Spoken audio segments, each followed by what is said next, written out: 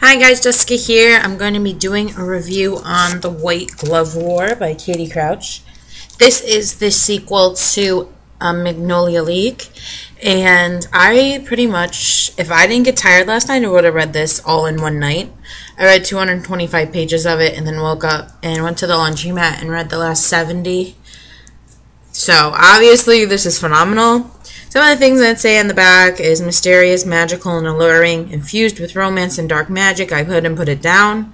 The perfect mix of humor, romance, mystery, and the supernatural. I can agree with all of those things. Um, I'd have to say that the Magnolia League and The White Glove War are probably two of my favorite books that I've read all year. So if you haven't read them, definitely check them out because I think that that says a lot, especially when I've read like 40, more, almost 50 books already. Um, it's just I'm just like in awe of the character development, all the backstories, all the magic and uh, dark magic and supernatural things, and how it all comes together. I was continuously surprised, and um, you know, like I said, it is funny. Some of the characters just say some things that you kind of are thinking yourself, which makes you chuckle a little bit because you're like, I guess I really understand her insight into these characters because I anticipate what they're going to say.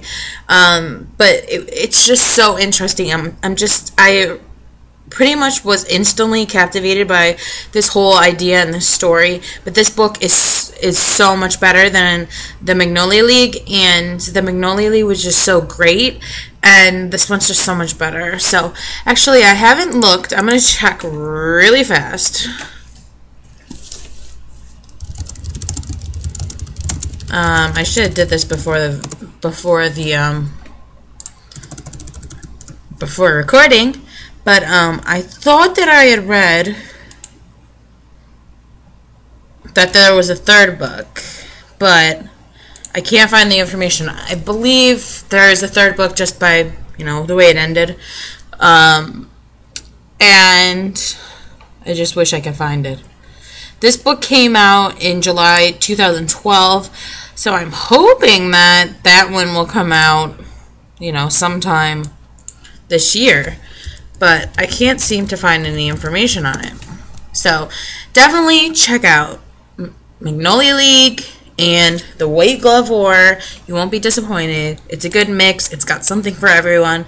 And I'd say these two books are my most recommended of 2013. So happy reading, and I'll talk to you guys later. Bye.